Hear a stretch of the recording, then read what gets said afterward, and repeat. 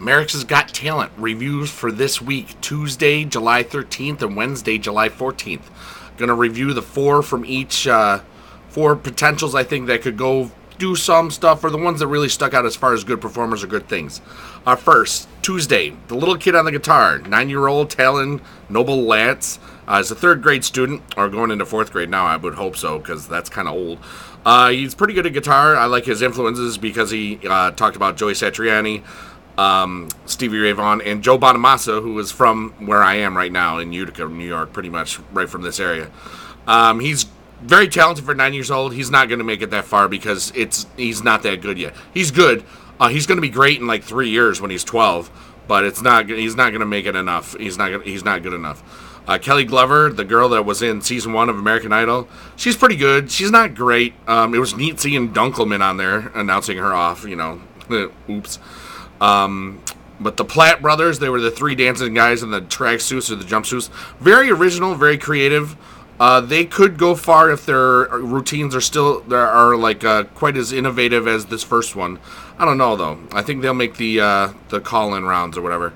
Uh, spiritual harmonizers. These guys are the ones that I think stick out the most to me, uh, simply because they're an African American, uh, you know, kind of barbershop. I don't know, R and B group, and the one dude the main guy. They're all male dudes, and uh, the one guy, the main guy, was amazing. Right? He's 28 years old. Uh, they sing in uh, church and post office.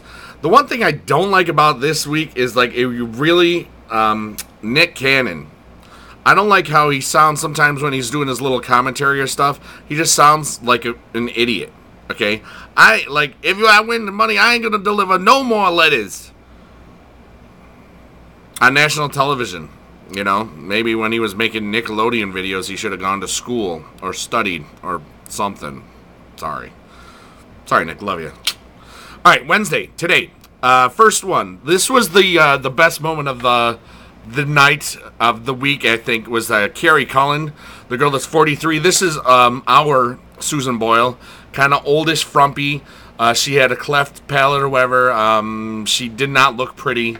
But when she opened up her mouth, that lady could sing. And uh, that could be our story. She did Somewhere from West Side Story. It was a beautiful song. She kind of shouted it at the end because she was just really, really rocking it.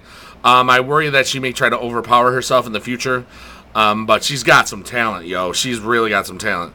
Um, Rashida Jolley, she was the girl with the harp and the really good voice, you know, uh, the really good R&B voice.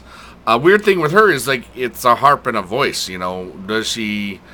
Yeah, it's kind of confusing, you know, but it's very unique. Uh, Wednesday had some really unique stuff. Um, the two guys, Matt and Anthony, they're the college kids that didn't really have a name of their group. One uh, played guitar and sang, the other tap danced the crap out of the stage. It's it was the strangest thing I'd seen. I thought I was like, oh, these guys are gonna suck, and I was wrong, and you know, so was the other thing. Um, and Mia, the 16 year old girl that almost made it to the uh, voting rounds last year, she was much better. It shows you what a year can do. But um, you know the the biggest of the biggest people I think this week is the one dude from the Spiritual Harmonizers. Does one dude really make an act? The rest of the harmonies are they're okay. It's just not great. His voice is great. Um, and Kari uh, Kari Callin, she was amazing. She was amazing, and uh, I and Mia was good you know, and we'll see what happens. I think of the the eight people I just talked about, people that will probably go through to the the voting rounds will be the spiritual harmonizers, uh, Kari Callin, Matt and Anthony, and uh, Mia. I don't know about the Platt brothers; they're close. I don't think. Uh, well, Kelly Glover maybe, but I forget how many people are in that last round. If there's 40, then most of these people will make it. Not the little kid on the guitar, and uh, not uh, I don't know. I'm just full of crap. Whatever. I'll. Uh, it'll get more fun as we get closer and closer, like this. Bye. See you soon.